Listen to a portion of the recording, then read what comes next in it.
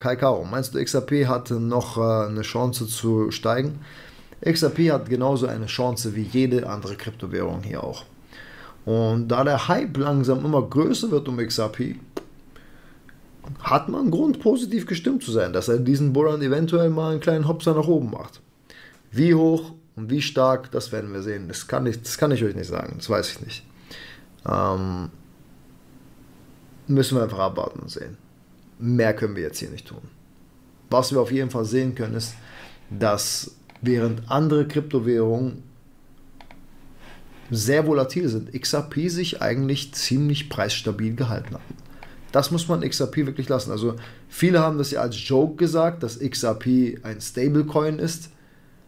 Aber Unrecht haben sie auch nicht. Ne? Ich meine, während andere Kryptowährungen viel stärker gefallen sind, hat sich XRP eigentlich hier auf diesem Niveau, auf diesem Level relativ stabil gehalten.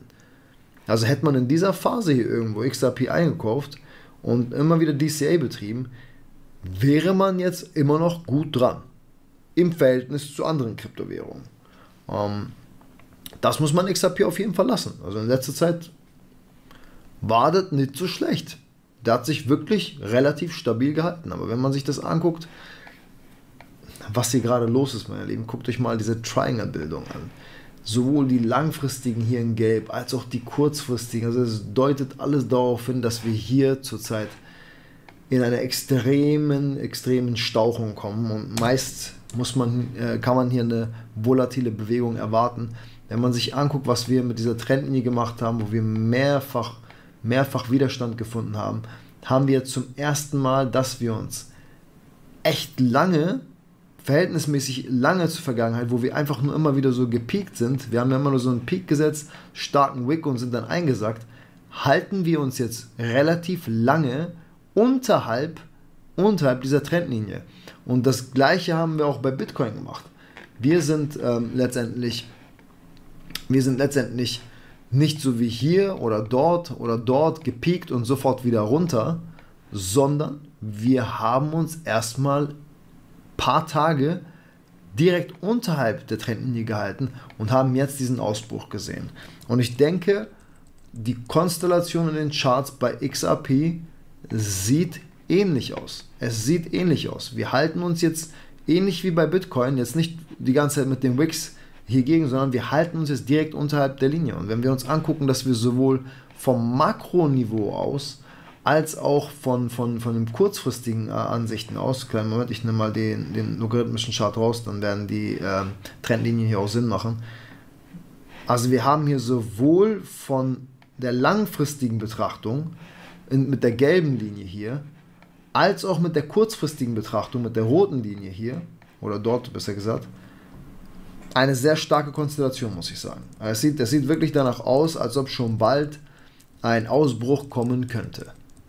Warten wir das aber ab. Ohne Bitcoin passiert hier nichts.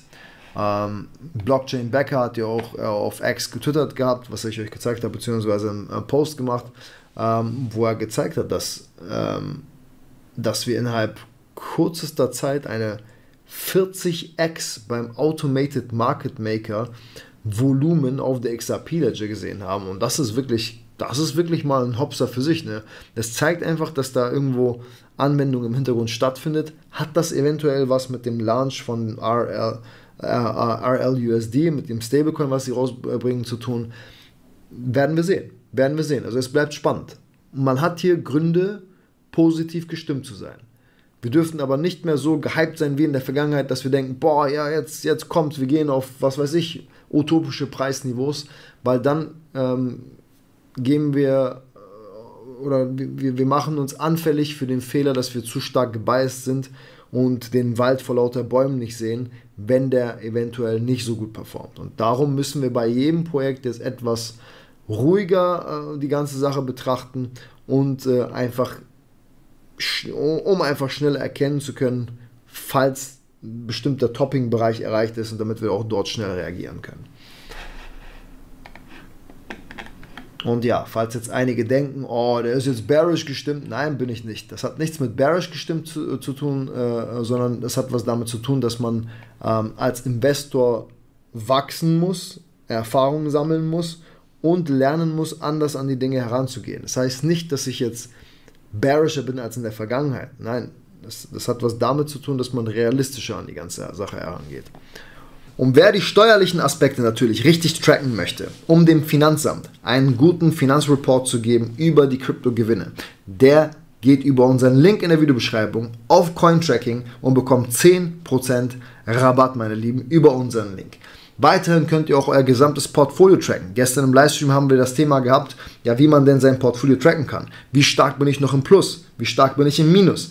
Euer ganzes Krypto-Portfolio könnt ihr hier äh, auswerten. Ihr könnt Cointracking mit den verschiedensten Exchanges verknüpfen über eine API-Verbindung und eine Übersicht haben, wie stark ihr letztendlich performt.